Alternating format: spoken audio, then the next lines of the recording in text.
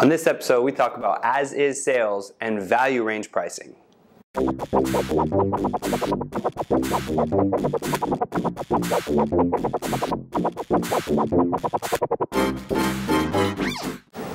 Thanks for watching Ask a Realtor episode 6. My name is Jason Cassity with City Consulting Group in downtown San Diego. If you have any questions for me, use Twitter hashtag Ask a Realtor or ask me directly at J Cassity. I'll do my best to answer them. Um, episode 6, I'm excited for this one. I, uh, I don't have a fun fact about the number 6, so we're just going to go straight into the show.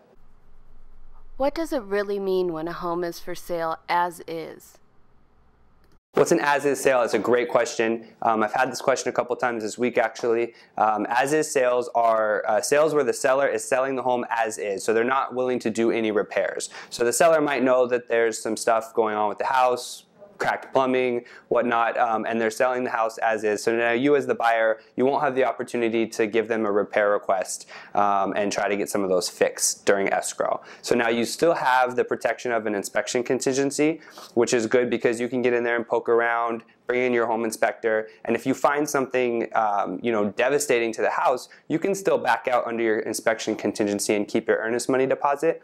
You just won't have the chance to get those repairs worked out with the seller. So now you generally see this a lot with uh, bank-owned properties, uh, foreclosures, REOs, you know, um, distress sales, things like that.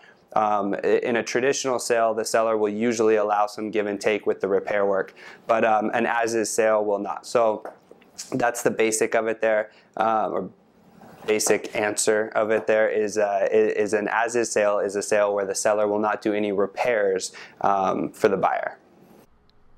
What is value range pricing?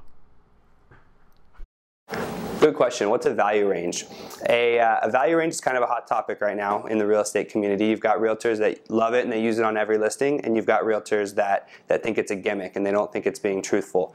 Um, I think the answer is somewhere in between there. I think with the value range, what you have is you have a listing at um, hypothetically, let's say, uh, 315,000, and um, to, to, to utilize the value range properly, you would put a bottom on the range of 299,000. So now you have a list price of 399. 315, but you have a value range of 299 to 315.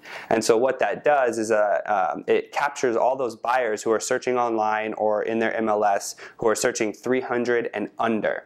And they would have never seen your listing at 315, but now since you have the value range, they see your listing, and then you're, what you're hoping is that they then love your listing and they decide to come in and offer on it.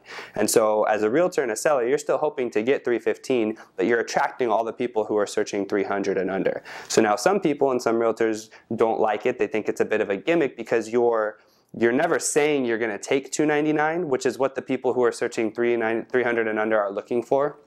You're just trying to get more eyes onto your property, or if you're on the other side, you, you think that you're trying to trick someone to get into your property. And so there's a, there's a little bit of a, um, you know, a contentious issue around value range pricing. I think it, when used properly, I think if you price something at like um, 305, uh, hypothetically we'll say that, and then you value range 299 to 305, that's a good way of using the value range. Uh, now we can discuss why you would price your property at 305 anyways, but um, neither here nor there. So that's a good way to use the value range.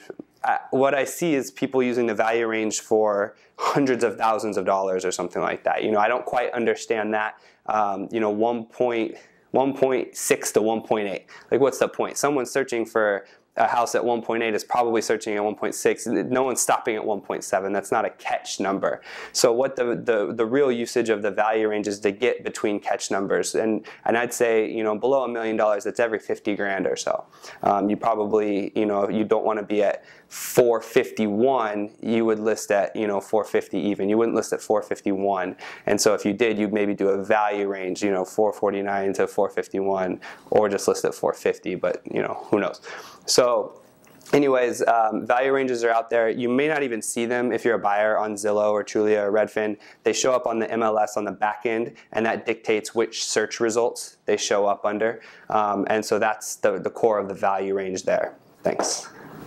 Thanks for watching Ask a Realtor episode 6. If you have a question, go on Twitter, use hashtag Ask a Realtor, or write me directly at J Cassity. I'll do my best to answer them.